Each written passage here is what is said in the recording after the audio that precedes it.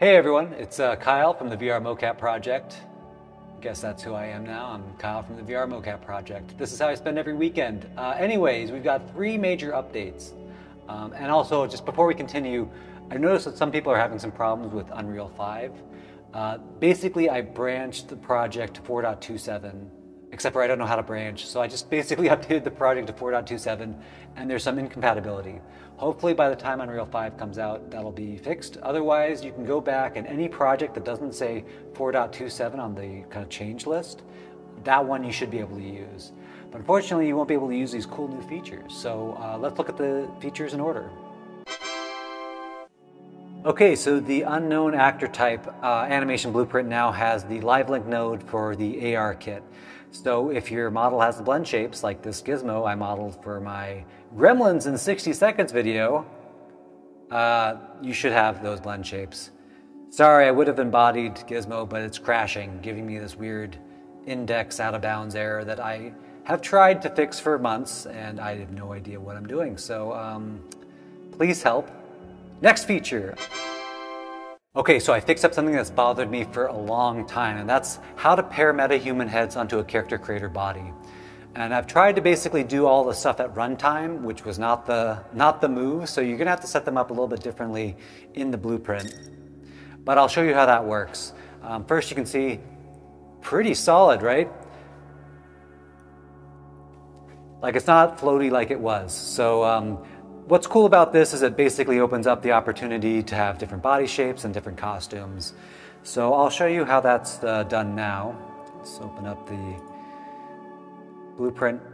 Okay, so you're going to want to name the body body because the actual actor component, the one that tells um, basically the player pawn what components what, it's looking for body. And face, uh, you can just copy and paste all this face information from the MetaHuman blueprint. Um, but what you're going to want to do with it um, outside of putting the MetaHuman face animation blueprint on it, is you're going to want to parent it to the socket spine 03. So that's kind of the um, chest bone on the character creator model. And once you parent it, um, you're just going to have to adjust it into place from there. But um, I found that this records well. Um, one of the issues I had when I was doing it at runtime was it would actually just record the head, you know, at zero zero zero at the root of the character. And uh, this, if you do it like this, it's actually going to record properly. So yeah, happy that's fixed now. Okay, so last time we took a look at the movement actor, the walk cycles were pretty messed up. And now they're a little bit less messed up because I figured out the core problem was the character capsule wasn't rotating either when I rotated or when I made the character turn in place. So what the movement actor is, if you're not familiar, is you basically put them down facing in the X direction. For some reason when you calibrate, you have to have them facing in the world X. Um, but what it gives you is real world locomotion, so you can actually you know, move room scale, but you can also use the joystick to pilot yourself around like a video game character. I've got um, eight way kind of motion, you've got strafing, um, you also have like run variants, uh, if you push down the joystick, uh, turn in place, all that stuff. Um, and what's really neat about it is like, you can see I can still have a lot of my motions on top because I'm animating the trackers.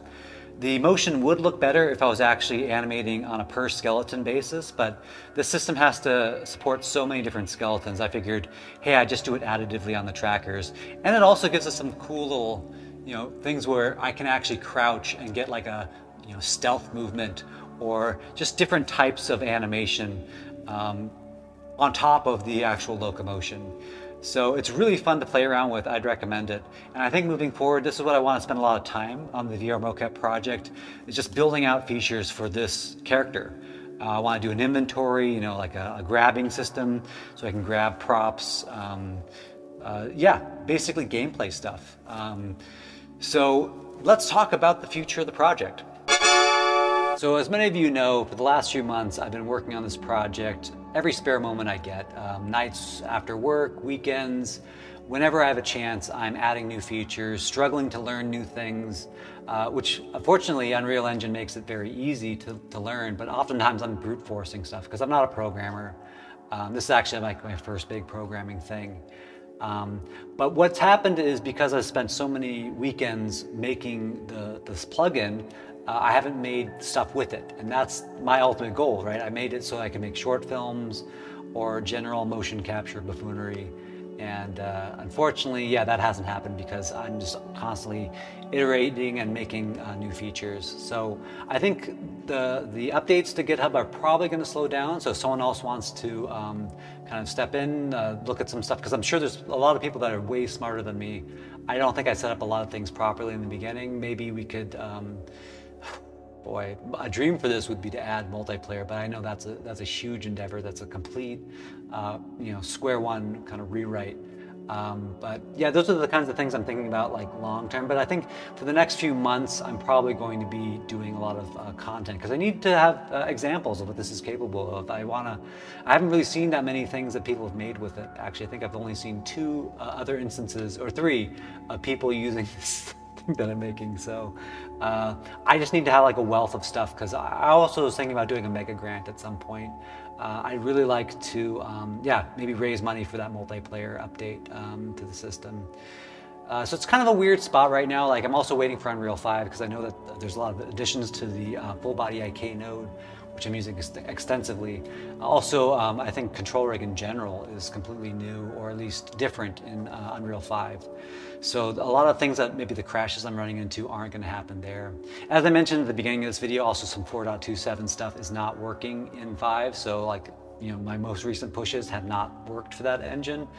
I'd really like to use that again. I love the interface. But anyways, um, that's kind of where I'm at with the project. Um, uh, yeah, expect a little bit of a slowdown, and yeah, if someone wants to kind of step in and uh, do some, you know, commits to it, uh, yeah, I'd love to see that. Um, but uh, that's it for today. I hope you have a great day, and take care.